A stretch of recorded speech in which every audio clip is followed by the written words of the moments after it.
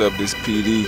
Got a new intro. I'm trying to get a new intro. But anyway, to the topic at hand PlayStation 4 versus Xbox One. 2013 next gen battle. Who y'all think won? Me personally, I think PlayStation 4, Sony won it.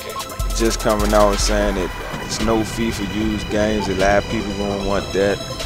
Hundred dollars cheaper. A lot of people gonna want that. A lot people ain't realize that you're gonna have to basically pay a subscription to play online for PlayStation 4. So I think it was like less than five dollars a month, but it's gonna equal to the amount of Xbox Live Gold now.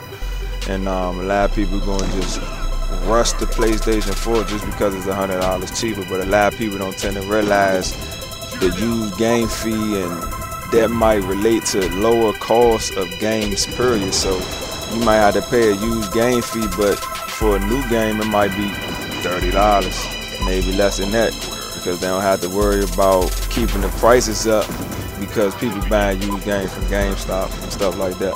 So a lot of people need to wait you know, until all these details get released before they just pick PlayStation 4 over Xbox One. Me personally, right now, I'm gonna go with the PlayStation 4, but let me know what y'all think in the comments. Comment, like, subscribe. Peace.